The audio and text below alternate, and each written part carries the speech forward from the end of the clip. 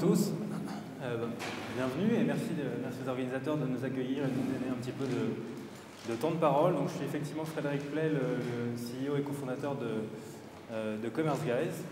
Euh, et on est la société qui a créé Drupal Commerce en fait. Et donc, il faudrait savoir si, pour commencer, je me permets de vous poser une question, savoir si dans la salle, pour comprendre un peu votre connaissance de, Drupal, si, tout le monde déjà connaît, Drupal dans, la salle.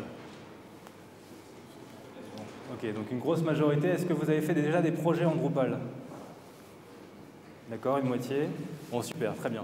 Bah, écoutez, merci beaucoup. Donc, euh, en fait, comme je vous le disais, Commerce Guys est, l'éditeur d'une solution qui s'appelle Drupal Commerce, dont évidemment on va, on va parler assez amplement euh, pendant cette, euh, cette, cette présentation. Quelques mots sur la société. Donc on est un, petit peu moins de 70 personnes aujourd'hui. On est une société qui est très internationale. En fait, le, logiciel a été créé à la fois aux États-Unis et en France euh, par une équipe qui était en fait en, R&D, qui travaille vraiment depuis le départ sur les, deux côtés de l'Atlantique, ce qui lui donne un, côté international et une problématique, une, capacité à gérer justement le, le le multi-pays qui est assez native en fait. depuis sa conception, on a, cherché à faire avec ce logiciel euh, une solution qui marche bien euh, des deux côtés de l'Atlantique. Euh, et la société, effectivement, est financée par des, par des investisseurs. On a levé au total 5 millions de dollars jusqu'à jusqu'à présent. une bonne façon de représenter Drupal, c'est cette slide. Drupal, c'est, avant d'être une base de code et, et un, un, site web, c'est avant tout des gens. Euh, c'est une communauté qui est extrêmement vibrante, qui a l'habitude de se réunir aussi physiquement régulièrement sur des, sur des lieux. Donc ça, c'est une, bonne, euh, une bonne photo de, de, cette communauté qui est effectivement très enthousiaste, qui se réunissait là, je crois que c'est une photo de, de Chicago ou de, ou de, Portland, où on a en général sur les, grandes conférences Drupal à peu près 3000 euh, personnes qui sont des contributeurs, qui viennent passer une semaine entière de leur temps pour faire avancer Drupal. Donc c'est avant tout effectivement une communauté, puis c'est aussi bien sûr euh, comme, comme, vous le savez, une, base de code, un CMS, euh, qui euh, permet de créer des, des, sites, des sites de contenu, plutôt des sites ambitieux en général. sur le marché, on considère que Drupal, c'est plutôt un, outil qui n'est pas forcément extrêmement simple à prendre en, main ou à maîtriser immédiatement, en tout cas moins simple que d'autres CMS, mais qui a une capacité à gérer des, problématiques complexes ou des sites un peu compliqués ou ambitieux ou, à forte échelle, euh, au-dessus très largement de, la moyenne. Les calculs que, fait le, créateur de Drupal, c'est qu'il estime aujourd'hui qu'il y a à peu près 2,5% des sites web dans, le monde, et c'est basé sur le top Alexa 1 million, qui utilisent Drupal aujourd'hui. Donc euh, on, estime environ 5 millions de, sites web Drupal dans le monde. Euh, comme je disais, ce qui fait son succès, c'est sa communauté et sa contribution. Il y a 29 000 contributeurs, ce qui est énorme qui en fait en fait une des premières communautés open source euh, euh, au monde. Euh, et donc le, site Drupal lui-même fait partie de, des sites à forte audience. On, estime que c'est en 1500, 1500e site le plus visité, encore une fois selon Alexa. Donc je vais vous parler évidemment de Drupal Commerce. et pour vous présenter un peu Drupal Commerce, je voudrais vous, vous, parler un petit peu de la façon dont ça a été créé. Euh, Drupal Commerce a été fait avec euh, l'idée de s'appuyer euh, autant que possible sur Drupal. son nom est d'ailleurs assez révélateur pour ça. L'idée en fait sous-jacente, c'est que lorsque vous faites un site marchand, avant tout vous faites un, vous faites un site. il y a plein d'outils qui sont nécessaires pour faire un site marchand qui sont complètement communs à, à l'idée de faire un site quel qu'il soit. Euh, et donc on s'appuie sur, euh, Drupal pour faire euh, toute la partie entre guillemets générique des, sites web. Donc lorsque vous faites un site, vous avez besoin d'afficher des blocs, de présenter des contenus, de présenter des vues, de faire du SEO, de faire un sitemap, de faire du rubricage, d'organiser votre, votre, votre, présentation. Tout ça, c'est naturellement Drupal qui va le faire pour nous. Et donc toute la partie sécurité, la partie scalabilité, là-dessus aussi, Drupal Commerce va s'appuyer complètement sur Drupal avec un principe, c'est que tous les modules qui marchent pour Drupal vont également fonctionner pour, euh, pour Drupal Commerce. Euh, donc ça, c'était le point effectivement de départ. Et donc, euh, qu'est-ce qu'a fait Commerce Guys? Ben, On a rajouté un deuxième corps à côté du corps de Drupal, un deuxième corps, corps module, qui s'appelle Drupal Commerce et qui lui-même présente toute une suite de modules. Aujourd'hui, on en a à peu près 500 qui sont disponibles.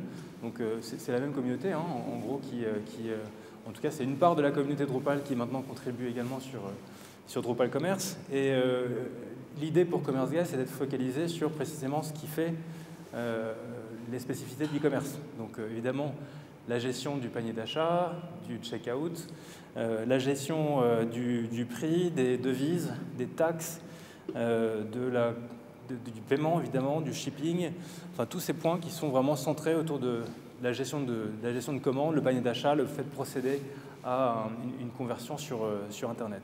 Donc ça c'est vraiment l'architecture qu'il faut comprendre. Donc quand vous faites un Drupal Commerce, bah, vous téléchargez d'abord Drupal Core, vous téléchargez ensuite Drupal Commerce et puis vous mettez les modules qui sont nécessaires pour faire pour construire l'expérience web que vous souhaitez, euh, souhaitez développer. Donc la, solution aujourd'hui, elle a à peu près deux ans en fait.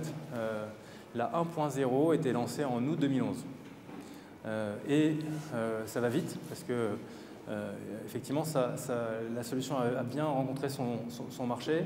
On a aujourd'hui 30 et quelques milliers de sites, 33 000 je crois, qui vont systématiquement toutes les semaines faire une requête pour demander s'il y a un module à updater. Donc on, voit qu'il y a effectivement 1500 à 2000 euh, nouveaux sites qui viennent pinguer euh, régulièrement le, système pour, euh, faire un update. donc pourquoi est-ce que ça a effectivement eu un, succès rapide? Ben, Très simplement parce qu'en fait, un, site marchand aujourd'hui, on n'imagine plus que simplement un, système de gestion de catalogue et un système de gestion de panier soit suffisant. L'e-commerce s'est complexifié, euh, aujourd'hui, un des enjeux clés, c'est effectivement de faire venir du trafic sur votre site. Si vous vous contentez d'afficher des produits et que vous attendiez que les gens le mettent au panier, ça risque de ne pas être euh, suffisant. Et en tout cas, ce n'est pas forcément même une bonne idée de, faire un site pour faire ça. Finalement, euh, mettre ses produits sur Amazon Marketplace ou sur Price Minister, ça peut suffire. si c'est simplement effectivement présenter des produits et permettre de, permettre de faire de l'achat. Ce sera beaucoup moins coûteux. Euh, il y a déjà un trafic naturel sur ces marketplaces. Donc euh, pourquoi finalement euh, faire un site si c'est pour dire ou faire la même chose que ce que proposerait une marketplace? Donc l'idée c'est qu'effectivement, si vous faites un site marchand, il faut avoir quelque chose à, faire passer, il faut avoir un message fort à, délivrer, il faut proposer à vos utilisateurs une expérience qui soit différente. et donc, le, fait d'utiliser Drupal, pour ça, fait, beaucoup de sens parce que ça vous permet en gros de, créer beaucoup de contenu, de créer une, expérience par exemple communautaire, où les gens effectivement vont pouvoir euh, vivre une expérience qui n'est pas celle d'une marketplace, euh, qui va être cantonnée à euh, du catalogue et, le checkout. Donc on a, maintenant beaucoup d'exemples de gens qui ont fait ça avec, avec succès, donc on réussit effectivement à, créer, à créer une expérience Drupal Commerce de, bon niveau, mélangeant effectivement ces trois aspects, la partie on aime appeler ça les 3 C, la partie contenu, la partie plus sociale communautaire, et puis la partie e-commerce. Évidemment, dans les, références, vous voyez, il y a beaucoup de marques de luxe. Euh, évidemment, Cartier, euh, Guerlain, euh, Givenchy, Kenzo sont aujourd'hui des sites Drupal Commerce et qui font la, transaction sur, sur Drupal Commerce. Parce que lorsque vous parlez avec un directeur marketing d'une de ces marques, ces propos, ça va être de vous expliquer que finalement, bien sûr, il faut faire des, ventes, bien sûr, il faut faire de l'e-commerce, mais avant tout, sa problématique, ça va être de présenter sa marque, de présenter l'univers de sa marque, de faire rentrer le client dans euh, un site qui va correspondre aux valeurs de sa marque, qui sont effectivement incarnées dans le monde physique euh, par les publicités, par la télévision, par, euh, par, les, points de vente. Donc la première problématique, ça va être effectivement de pouvoir faire rentrer le consommateur dans une approche où il est dans la marque, il est dans cet univers. Et ensuite, Évidemment, ensuite, il faut le faire convertir, il faut le faire euh, euh, passer euh, sur le, choix du produit et, le checkout. Et, mais, c'est vraiment une expérience en deux temps. Et ça, c'est un discours que vous pourrez trouver systématiquement chez toutes les marques de, luxe ou les marques ont envie, en tout cas, de raconter une histoire à leurs consommateurs, de se différencier, d'avoir un positionnement qui soit, qui, qui soit différent. Donc c'est ça le principe de, ces marques. On a effectivement dans les références aussi euh, Eurostar qui, euh, euh, qui, vend des, tickets de train. Donc on n'est pas focalisé sur la partie vente de produits physiques avec Drupal Commerce. On peut aussi vendre des abonnements. si on est un média, on peut effectivement mettre, utiliser Drupal Commerce pour vendre des, abonnements mensuels ou du pay-per-view à ses lecteurs. si on est un, éditeur de logiciels, on peut aussi utiliser Drupal Commerce, comme le fait MongoDB aujourd'hui, pour présenter ses offres et vendre du training, vendre des, offres cloud. Donc on a effectivement beaucoup de cas d'usage qui dépassent très largement le simple cas d'usage de l'e-commerce physique comme on peut l'imaginer, c'est-à-dire j'achète un produit, il m'est livré à domicile ou, ou récupéré en point de vente. On a vraiment les, les, deux aspects. Donc, un, petit focus sur, le, sur, la thématique quand même de, la, de la, présentation euh, qui était effectivement euh, Content and Social Driven E-Commerce, euh, le, contenu et le, communautaire qui drive l'e-commerce. Lorsqu'on dit social commerce, on pense à quoi en fait? On pense notamment à, trois choses principales. La première, c'est que évidemment, une grosse partie des consommateurs ou des, ou des fans de la marque vont être sur les réseaux sociaux. Et comment est-ce qu'on génère euh, du trafic depuis euh, les, réseaux sociaux vers, euh, vers le site? Ben Aujourd'hui, il y a énormément déjà de widgets qui sont disponibles pour, pour, faire le lien dans les deux sens entre les réseaux sociaux et votre site. sur, sur, sur, Facebook, il y en a plus de 70, il y a plus de 70 façons différentes de, de faire des, modules et des widgets avec Drupal. Sur Pinterest, il y en a 23, sur Twitter, j'en ai compté plus de 30. On, on a effectivement un choix de la façon dont on, va pouvoir intégrer les réseaux sociaux très fort au, sein du, site, avec notamment euh, une vraie vertu pour l'e-commerce, c'est que si vous arrivez sur une page produit euh, qui a déjà été likée par des gens de votre euh, cercle d'amis Facebook, par exemple, ben, évidemment, c'est une caution qui est très forte. Et donc, c'est très intéressant pour un marchand de présenter sur une page produit le fait que ben, dans votre cercle d'amis, vous avez des gens qui ont apprécié la marque et qui, quelque part, la cautionnent. Donc ça, c'est une des raisons qui font que les gens ont envie d'afficher une dimension sociale sur les pages produits, sur les pages du, euh, site. La, deuxième, c'est évidemment euh, la partie login. Euh, sur, sur, beaucoup de sites de contenu, mais, sur tous les sites d'e-commerce, à un moment donné, dans l'acte de conversion, on va demander à, l'utilisateur de s'identifier. Donc là-dessus, ça fait aussi beaucoup de sens de permettre des mécaniques d'identification, notamment via les réseaux sociaux, gain de temps évident pour le, pour le client, lien pour vous, euh, si vous êtes marchand ou, ou, si vous êtes agence prescriptrice, lien pour le marchand avec euh, les réseaux sociaux et donc euh, une logique de CRM et d'identification des clients et de, et de prolonger la conversation qui est beaucoup plus forte.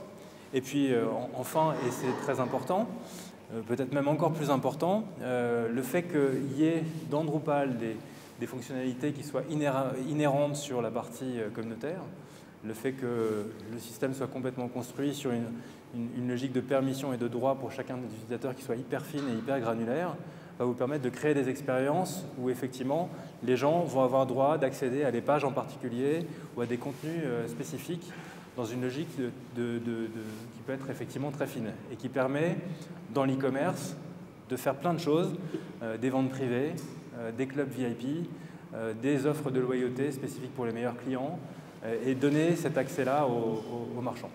Donc c'est ça en fait les grandes, les, grandes forces et fonctions de, de, Drupal Commerce. Donc quatre grands aspects si, si, si, vous devez expliquer ou, si vous devez comprendre l'intérêt principal de, Drupal Commerce pour l'e-commerce. Le premier, c'est que c'est une solution qui est extrêmement flexible et évidemment euh, extrêmement extensible ou modulaire. 16 euh, 000 modules au total disponibles euh, sur Drupal. Je crois que ce chiffre date en plus, il est encore plus important maintenant. C'est évidemment aussi le fait que ça soit construit sur une solution de gestion de contenu, donc ce n'est pas que de l'e-commerce, c'est de l'e-commerce, c'est du contenu. Un cas type, c'est la PME qui va vouloir avoir un seul site et avoir euh, une seule solution pour euh, l'ensemble de euh, ces propriétés web. en général, lorsqu'on est une entreprise, fréquemment, on doit parler de, soi, donc faire un site corporate et également présenter ses produits et parfois les vendre en e-commerce. Drupal, avec un seul back-office, une seule solution, une seule base de données, va vous permettre de répondre à tout ce type de, besoins. et puis enfin, bien sûr, c'est euh, aujourd'hui euh, disponible sur le cloud avec des, offres, et notamment celle de Commerce Guys qui, euh, qui permet de, délivrer du, Drupal Commerce beaucoup plus vite et avec une, sécurité très forte sur le, sur le cloud. donc, avant de, avant de, passer la parole à, Jérôme qui, va présenter un cas précis de, Drupal Commerce. Simplement un petit mot sur ce qu'il faut comprendre et connaître sur, l'environnement de, Drupal Commerce si vous vous lancez dans un projet. Donc il y a quelques outils très, pratiques à avoir en tête. Le premier, c'est Commerce Kickstart. Euh, Commerce Kickstart, c'est ce qu'on appelle une distribution dans le monde Drupal euh, ou dans le monde Linux. C'est un peu le même concept, c'est-à-dire que c'est un packaging qui, euh, qui, vous propose ce qui ressemble à un site marchand. Enfin, en réalité, c'est un, faux site marchand, mais ça, ça en a toute la caractéristique. C'est un site exemple, en fait, qui vous permet d'avoir pré-paramétré 150 modules qui ont été choisis et qui, fonctionnent ensemble et qui ont deux avantages. C'est que ça permet de jouer avec le avec un Drupal Commerce, mais dans un cas réel, qui reste un cas assez simple, mais qui est un cas réel, et donc de manipuler euh, les concepts, de jouer avec avant de choisir euh, si vous voulez faire un projet avec. En général, c'est bien de pouvoir manipuler un peu le logiciel, et c'est à ça que sert euh, aujourd'hui Commerce Kickstart. Il vient avec une marketplace dans laquelle il y a une sélection des modules, et euh, avec, euh, et ce sera bientôt disponible, ça n'est pas encore complètement, mais avec une logique de, de, de, rating de ces modules pour dire s'ils sont effectivement euh, complètement safe, complètement sûrs et à utiliser les yeux fermés, ou au contraire si c'est un peu à vos risques et périls, mais ça peut être intéressant. Donc il y aura cette logique de rating des modules, qui est une demande très forte en général des intégrateurs et de la, et de la communauté. Et puis effectivement une offre cloud qui est en, ce moment en bêta chez, chez, chez et qui sortira au, début de l'année qui permettra en fait de faire ces développements directement euh, sur le cloud et donc de gagner beaucoup de temps en ayant une interface qui permet de faire à la fois le développement et la production ensuite de façon complètement, euh, euh, complètement intégrée. Donc voilà un peu les, produits. en quelques visuels, Commerce Kickstart, ça ressemble à ça. Donc si vous le téléchargez, c'est accessible gratuitement sur drupal.org et puis sur commercegas.com. Euh, vous allez en fait récupérer un, site qui euh, est accessible avec à la fois euh, un back-office, un front-office qui est, sympa, qui ressemble vraiment à un site marchand, un back-office qui est optimisé, à la fois pour la gestion des commandes, la gestion des produits, et donc très intuitif et facile à utiliser. C'est quelques exemples. Qui arrivent aussi avec quelques outils sympathiques comme par défaut de la recherche à facettes, une interface complètement responsive design également, euh, et puis une appli mobile euh, qui euh, est également disponible et qui correspond à, Kickstart, qui est aussi, disponible sur le, sur le site de CommerceGuys.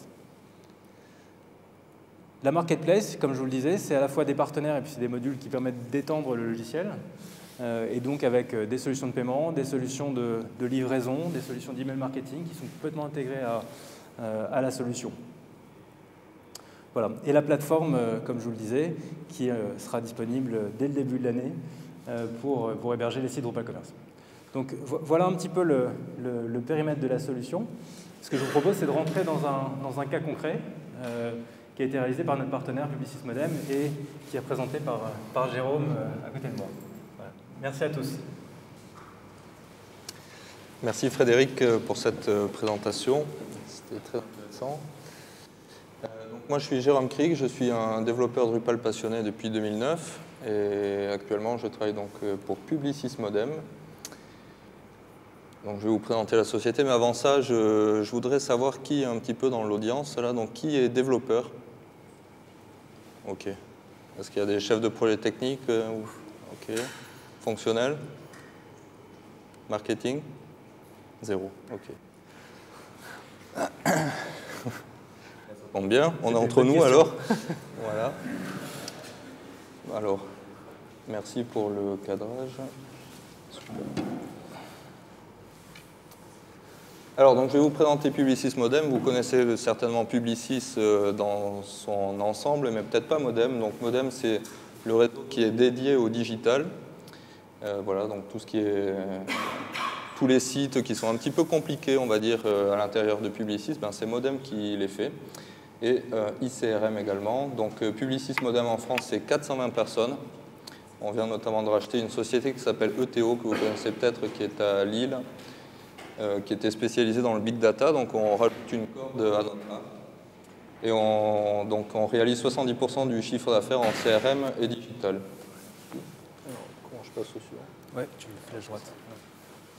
Voilà, donc les principaux clients, on va dire, on va voir sur la ligne milieu 3 qui a beaucoup d'acteurs du luxe, mais aussi de grands industriels ou de la grande distrib. Donc ce sont des clients qui sont souvent très exigeants, qui sont des grands groupes en général, et donc avec différents interlocuteurs, ce qui n'est pas toujours facile à gérer.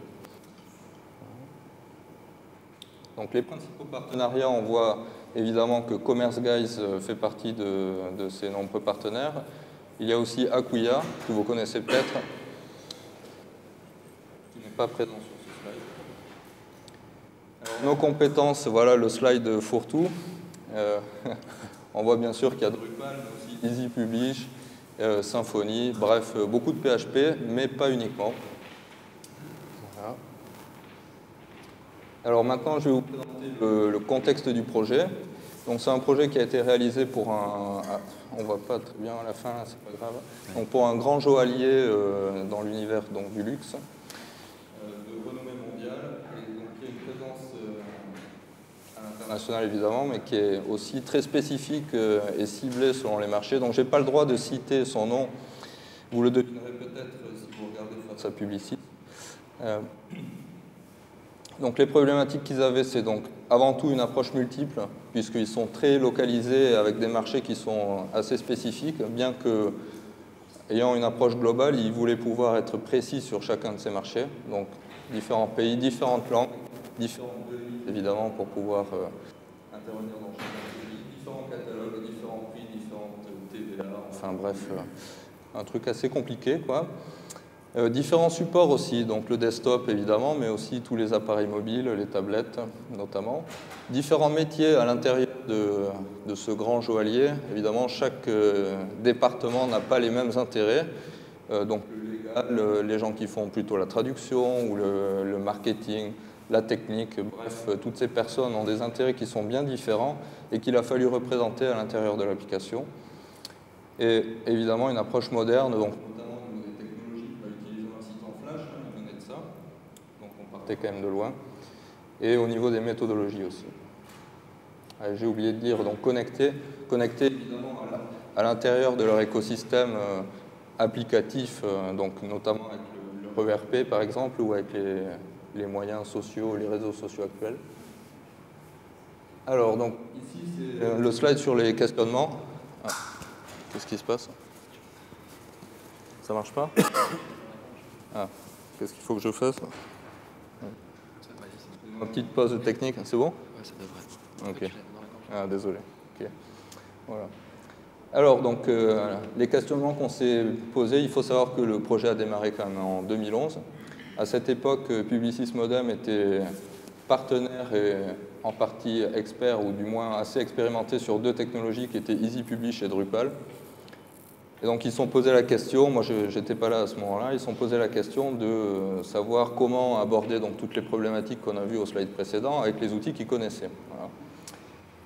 Eh bien, aucun des deux ne remplissait euh, correctement le rôle et on a vu qu'il y a un troisième acteur qui n'est pas présent ici mais qui est Commerce Guys et leur solution Drupal Commerce qui remplissait parfaitement ces besoins, de pouvoir avoir d'un côté l'aspect CMS, contenu, euh, présentation et augmentation de trafic via du contenu diversifié et la partie évidemment e-commerce. Alors le schéma d'architecture générale du projet, donc celui-là il fait un peu mal. Euh, il y a beaucoup de choses à voir là-dessus. Je vais peut-être passer à côté de la télé. Voilà, donc ici, tout ça, en fait, hein, tout ce qui est au-dessus du gros bloc rouge, c'est l'application Drupal et Drupal Commerce. On voit ici euh, l'administration qui se fait sur un site qui est dédié, sécurisé dans des environnements bien particuliers qui envoie ces informations à différentes antennes qui sont donc euh, un aspect multisite ici, connecté ici avec des plateformes sociales, euh, YouTube, Facebook, etc. Ce qui est en bleu en dessous, c'est l'interaction avec leur système de RP.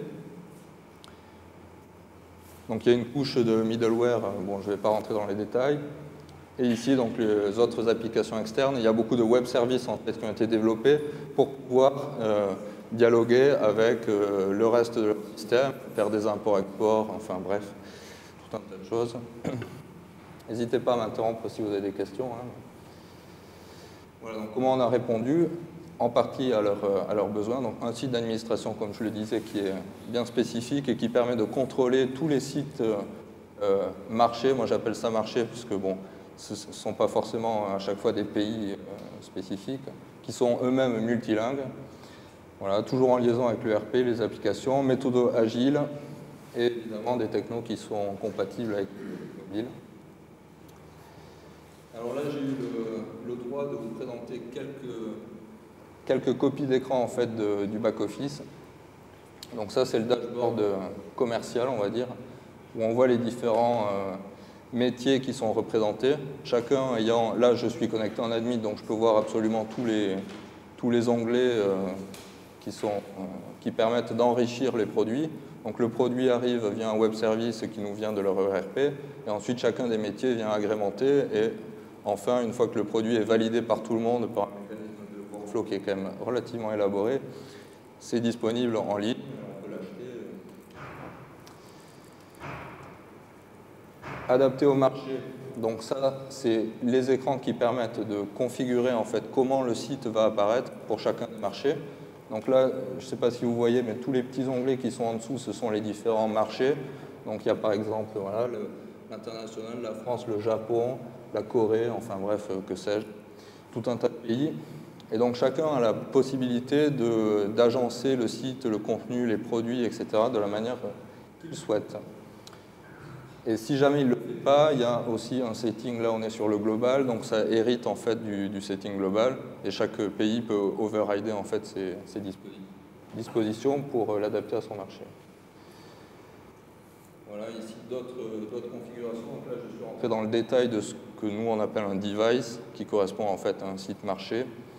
Donc il peut définir les différentes langues qui sont disponibles, etc. Donc ça c'est toute la configuration qui est euh, spécifique à un site un marché, et tout ça, c'est administrable directement dans le back-office. Donc, il n'y a pas d'intervention. C'est-à-dire que si on veut déployer, récemment, on vient de, déployer vos sites, donc le Mexique et Singapour, par exemple. Et donc, ça, c'est pratiquement des manipulations qui se font euh, directement dans le back-office. Euh, et on déploie des nouveaux sites comme ça, assez facilement. Grâce notamment à Drupal Commerce. Voilà. Donc les, bénéfices de ce projet, donc, ce sont des développements partagés puisque ça a été fait en collaboration entre Publicis, Modem et Drupal Commerce.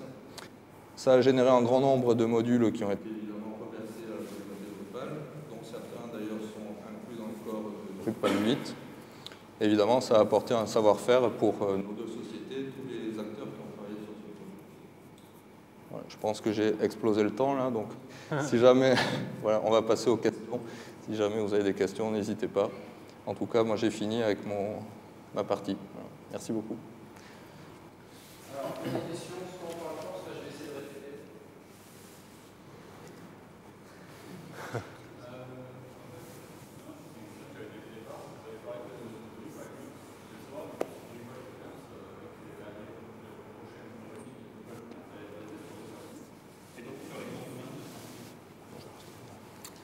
Ok, donc d'abord j'ai une très bonne nouvelle, c'est que dans sa grande euh, mansuétude, la FUP nous offre deux ah hein, ici, à distribuer pour les meilleures questions.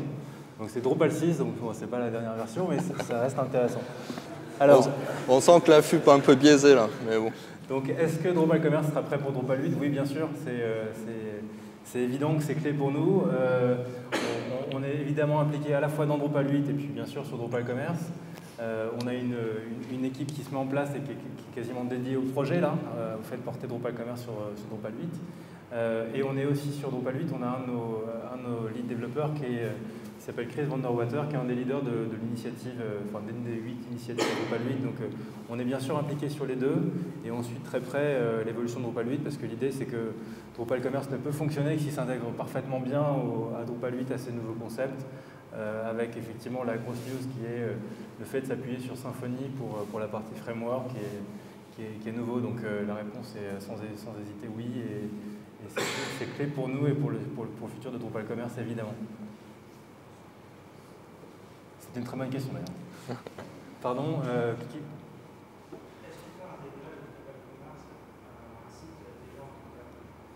Alors la question c'est est-ce qu'on peut ajouter Drupal Commerce à un site déjà en Drupal? Alors j'ai une bonne nouvelle, c'est que oui, la réponse est oui, sous réserve que ce soit un site en Drupal 7. Parce que Drupal Commerce n'a pas été fait pour, euh, pour les versions précédentes. Donc si c'est un site en Drupal 7, oui, absolument, c'est quelque chose qu'on peut rajouter après. Et c'est d'ailleurs un cas d'usage assez intéressant et, on a pas mal de, cas dans ce, de, cas dans ce, enfin de, sites dans ce cas-là qui savent que derrière ils veulent passer en e-commerce, mais pour commencer, ils veulent d'abord en version simplement contenu. Et donc, euh, simplement, il faut, essayer de réfléchir à une architecture qui va permettre de faire ça hyper facilement après. Mais de manière générale, la réponse est oui. Tu peux parler Non, mais tu pouvais parler d'Ubercart. Alors, avantage de Drupal Commerce par, Magento, par rapport à Magento. Ben, en fait, c'est un peu ce que j'ai essayé d'expliquer euh, juste avant, c'est-à-dire que Magento, et je vais caricaturer un peu pour, être, pour, euh, pour, que mon, propos soit clair, mais c'est avant tout une solution de, gestion de catalogue et un checkout. La partie CMS, elle n'existe quasiment pas.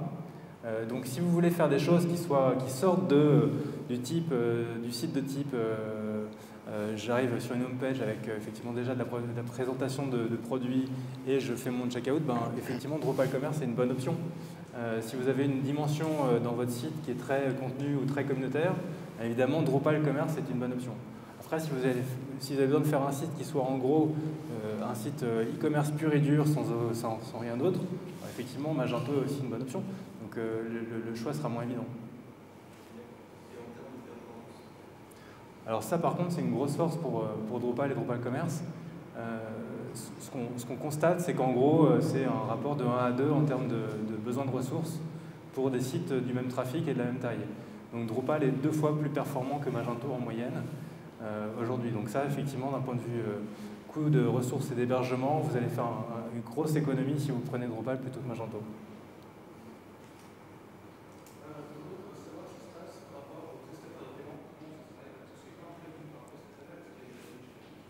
Donc la question c'est est-ce que comment ça se passe par rapport au prestataire de paiement?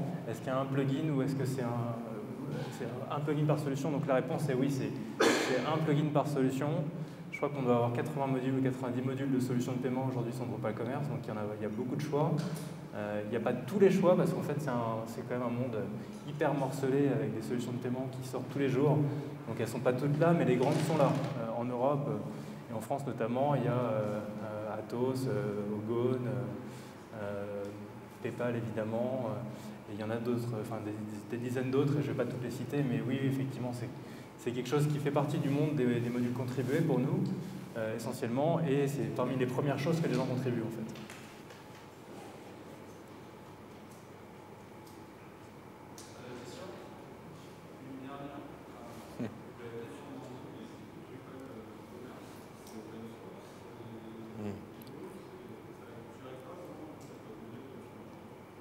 Alors, est-ce que Drupal Commerce c'est open source? Oui, euh, c'est complètement open source. En fait, euh, ce qui fait que ça démarre si vite aussi, c'est que on a, c'est plus que open source, c'est qu'on a complètement, euh, bien sûr, GPLv2 comme, comme le reste de Drupal, mais essayer de, de rentrer dans les pratiques de Drupal d'une manière générale. C'est-à-dire, c'est en gros, c'est les mêmes événements, c'est la même communauté, c'est les mêmes bonnes pratiques de développement.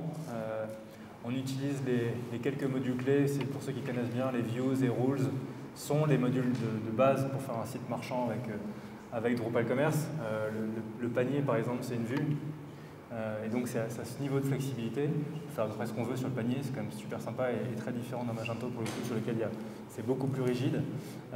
et Rules permet d'écrire toutes les, toutes les règles qu'on souhaite sur des promotions, par exemple, qui seront un peu compliquées je vais faire une promotion, je suis marchand, je vais faire une promotion sur les produits blancs à Lille entre 25 euh, décembre et le 1er de l'an.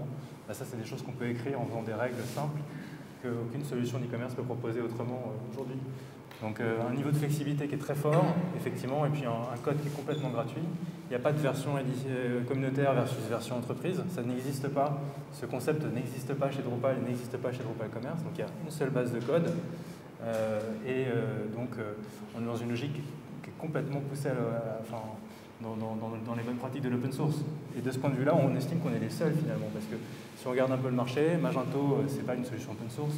Euh, ils, font, euh, ils, font en sorte que leur solution communautaire soit pas trop bien, parce que sinon elle concurrence leur solution propriétaire. donc c'est pas vraiment de l'open source ça. et puis ben, PrestaShop, ils font les modules, c'est pas le cas sur Drupal. Donc on, est sur une logique qui est effectivement très open source, en tout cas jusqu'au bout. Et ce n'est pas un jugement de valeur, c'est simplement que c'est très différent.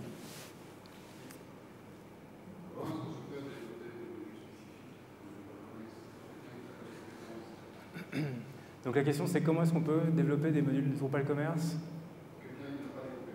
Pour quelqu'un qui n'a pas la compétence. Euh, c'est un, un, apprentissage parce que déjà comprendre comment marche Drupal ça prend un petit peu de temps. Après, contribuer c'est encore un cran après. Donc en général la bonne façon c'est de travailler avec des gens qui sont, euh, euh, qui sont déjà experts.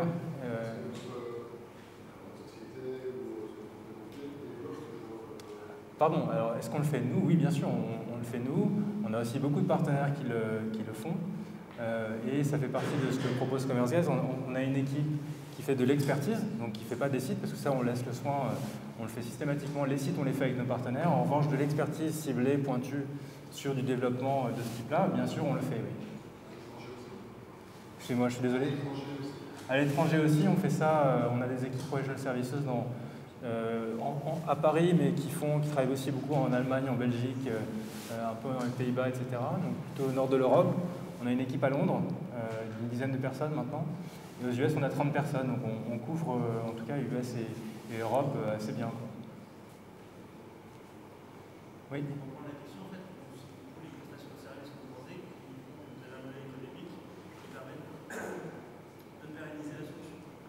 Voilà, exactement. En fait, euh, notre modèle économique, c'est trois choses en fait. C'est un, évidemment, une branche service, où en fait on accompagne les intégrateurs plus ou moins selon leurs compétences sur Drupal. Donc euh, quand ils sont très experts, bon, on ne va pas beaucoup les accompagner parce qu'ils ne vont pas avoir besoin de nous et tant mieux. Euh, s'ils sont moins experts, au contraire, on va essayer de, transférer des compétences euh, en même temps qu'on les accompagne sur leur premier projet pour que les premiers projets soient des succès. donc ça, c'est une, partie de, l'équipe, c'est une vingtaine, 20-25 développeurs experts dans l'équipe sur 70, donc c'est une partie assez significative. La deuxième, c'est la marketplace. Donc les modules ne sont pas payants. les, le, le, prix est le même pour les marchands. Par contre, on a des programmes pour les solutions de paiement, etc., pour être visible auprès des sites marchands de Commerce. Et donc, on, reçoit de l'argent de ces, solutions euh, pour euh, leur donner de la visibilité sur le, sur le marché. Donc ça, c'est vraiment gagnant-gagnant. C'est gagnant pour la solution, c'est gagnant pour, la, pour, les, pour les marchands qui n'ont rien à payer de plus. Euh, donc ça, c'est une deuxième partie de notre modèle économique. Et la troisième, c'est effectivement, et c'est très important pour nous, c'est le lancement de notre offre cloud, qui est en ce moment en bêta, avec quelques partenaires qui sont en phase de test. Et euh, bien sûr, c'est clé pour nous parce qu'on on va travailler avec nos, partenaires agences à déployer en fait cette offre euh, qui leur permet de faire leur développement dès le départ sur le, sur le cloud et d'avoir en fait un, gain de temps énorme parce qu'ils n'ont pas besoin de mettre en place leurs environnements, ils n'ont pas besoin de, des tests qu'ils vont faire sur la prod, vont, enfin sur la pré-prod vont marcher en prod parce que c'est exactement les mêmes environnements. Donc un gain de temps très, important sur la partie testing et, et développement. Donc euh, voilà, c'est les trois sources de revenus. Oui.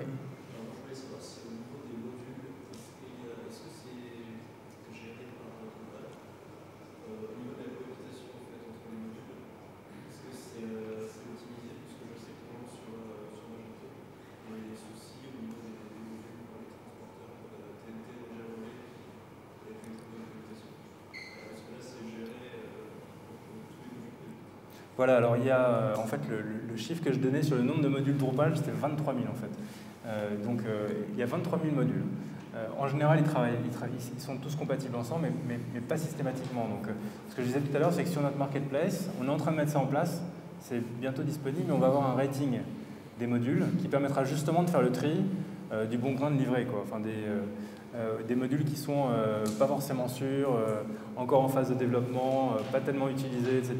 Des modules qui sont robustes, qui sont en acier et qui sont utilisables les, yeux fermés. Donc ça, ça fait partie de, la valeur ajoutée qu'on veut apporter aux développeurs en tant en tant qu'éditeur du logiciel, de, pouvoir dire ben, ça, vous pouvez y aller, cela on ne sait pas trop. Quoi.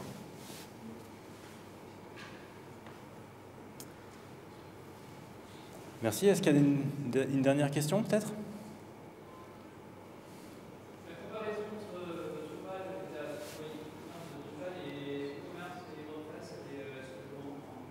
Alors la, comparaison, j'ai pas tout entendu. La comparaison entre Drupal et WordPress, c'est ça?